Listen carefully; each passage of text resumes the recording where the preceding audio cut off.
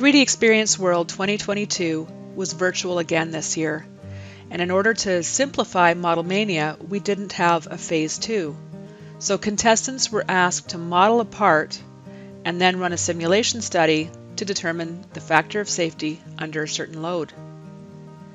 This is the 2022 Model Mania drawing. The dimensions and product manufacturing information is shown in blue, and the simulation instructions are shown in red. When looking at the drawing, the first thing I notice is the cylindrical upper area and the rectangular lower area of the part. That's where I'm going to start. And then I'll add that 12 millimeter radius to connect the two shapes and slice off the 40 millimeter radius rounded off the back here. Next I'll cut out the pocket and the hole here and then the counter bores here. And finally I'll add all the fillets. So let's get started. Now you could create two sketches, but I like to use a single sketch whenever possible to not only get the overall size of the model that I'm creating, but it's also a great time saver later when edits need to be made. And that's a hint for when we get back together in person and you'll need to do a phase two again. So we have created both our circle and rectangle And we will fully define the sketch by making the midpoint of that lower line aligned with the origin. Now since we don't have a closed contour sketch, given that we have both a circle and a rectangle overlapping, we'll select which contours we want to use in our feature. And then we will reuse that same sketch and select the other contour. Again, this could have been done with two sketches. Next we will go and apply that 12 millimeter fillet to connect these two shapes together. Now let's go and create a sketch on the front plane and I'm going to draw a large circle since that back edge that we're cutting off is a circular edge. And we want to make sure that the center point of the circle is coincident to both edges of our part. Our sketch is fully defined and we can create our extruded cut. And we will select through all and flip the side so that we are cutting on the outside of the part.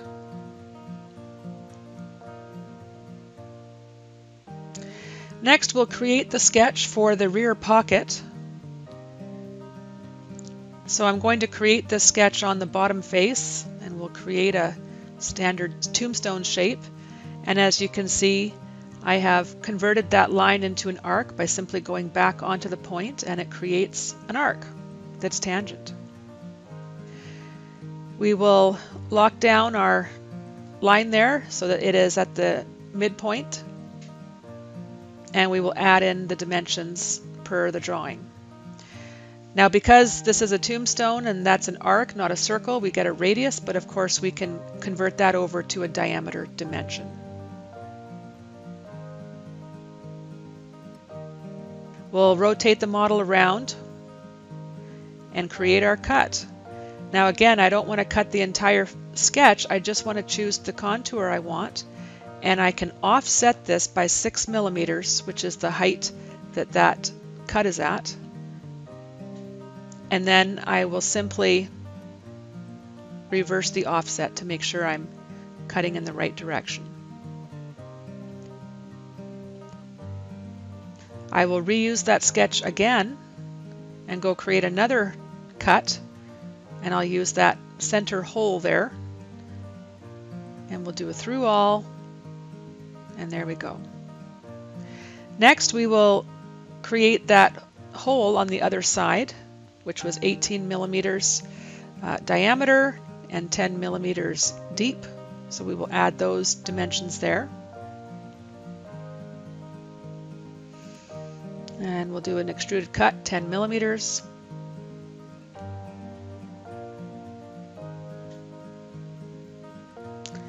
And now we will go and apply our hole wizard to the back. This is going to be a counter bore. Metric, it'll be a socket head cap screw, M6, and we can show the sizing there. And that's correct per the drawing. Next we will position this and we'll select the plane to put it on since there's no flat face to put it on. We will orient it so that it is at the center of our circle. And next we can go and edit that sketch inside of the hole wizard.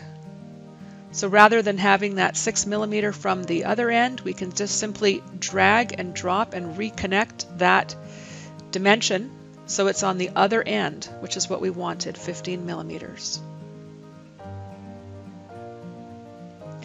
Now let's go and apply our fillets. It's always good to apply the fillets last.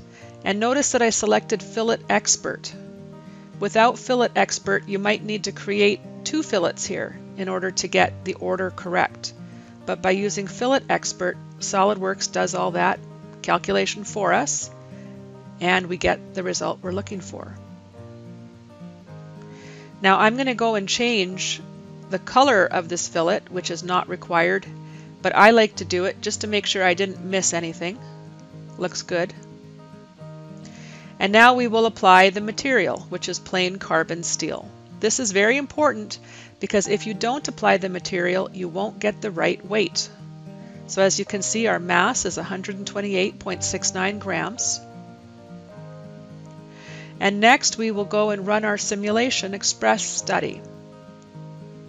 So we will simply walk through and hit next and then say add a, a fixture and we will fix those two faces, the bottom face and the cylindrical face.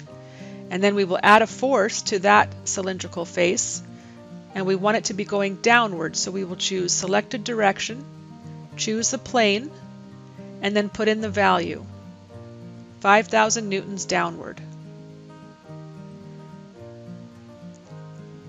We already have the material applied so we can simply go ahead and run that. We can see that the animation is showing us what we expected and here's our final number, the factor of safety based on the design that we did and the material that we chose and the load that we applied is 2.5. So that's Model Mania 2022. At least one way to do it.